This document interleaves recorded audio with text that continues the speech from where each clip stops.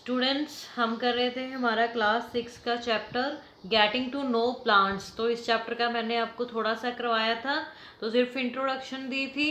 तो एक बार मैं फिर से आपको थोड़ी सी इंट्रोडक्शन दे देती हूँ। गेटिंग टू नो प्लांट्स इस चैप्टर में हम प्लांट्स के बारे में पढ़ेंगे, उन कौन कौन से प्लांट्स होते हैं, उनकी टाइप्स के बारे में डिस्कस करेंगे, कैसे वो ग्रो करते हैं।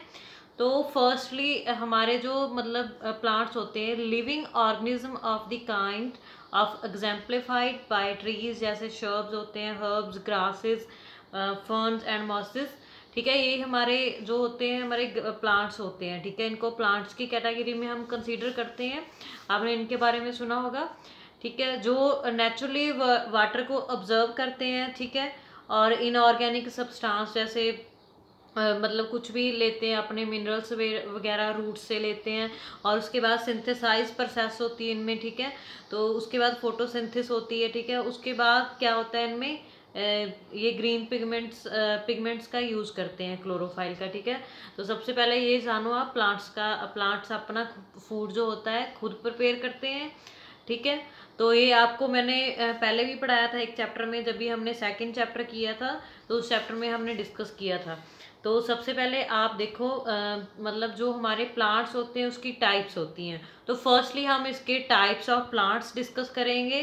तो फ़र्स्ट देखो इसकी कौन सी टाइप होती है? थ्री टाइप्स होती हैं हर्ब शर्ब और ट्री तो फ़र्स्ट हमारी टाइप है हर्ब्स तो हर्ब्स के बारे में क्या है? फर्स्टली तो देखो इसकी आ, मैंने एक शो की हुई है इसकी पिक्चर तो देखो आप हर्ब्स दिखते कैसे हैं ठीक है? तो हर्ब से वैसे ही लग रहा है ये मेडिसिन वगैरह से रिलेटेड होंगे ठीक है? तो ये क्या होते हैं? Plants with green and tender stems are called herbs तो इसकी मतलब जो होते हैं ग्रीन प्लांट्स होते हैं छोटे छोटे प्लांट्स होते हैं आप देखो ठीक है? उनको हर्ब्स बोलते हैं। दे आर यूजली शॉर्ट तो ये बहुत ज़्यादा छोटे होते हैं, इनकी कोई ज़्यादा ब्रांचेस नहीं होती हैं। और ये क्या करते हैं they are so use for food flavouring medicine और परफ्यूम तो इनका यूज़ किसके लिए किया जाता है? फ़ूड बनाने के लिए किया जाता है, ठीक है?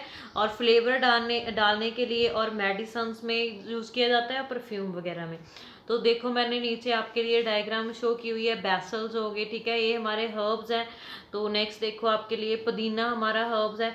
है मैंने शो की हुई है? देखो आप बैसल्स हो गए हमारे बे हो गए, ठीक है? कड़ी पत्ता, ठीक है? चिरविल ये हो गया हमारा मिंट हो गया तो अर्गैनो हो गया रोजमेरी सेग ठीक है? ये हमारे मैंने जो आपके लिए शो किए, ये हमारे हर्ब्स हैं, ठीक है? इनको हम एज ए मेडिसिन भी यूज़ करते हैं एज ए फ्लेवर भी आप देखते हो, सब्ज़ी वगैरह में मिंट को डालते हैं, ठीक है? अच्छे फ्लेवर के लिए, और आप देखते हो घर पे चटनी वगैरह भी बनाई जाती है इसकी तो ये उसके लिए यूज़ होते हैं। तो बच्चे देखो, मैंने आपके लिए शो किया है। अर्गेनो रोजमेरी सेगे ये हमारे सभी जो होते हैं हर्ब्स की कैटेगरी में आप इनको रखोगे।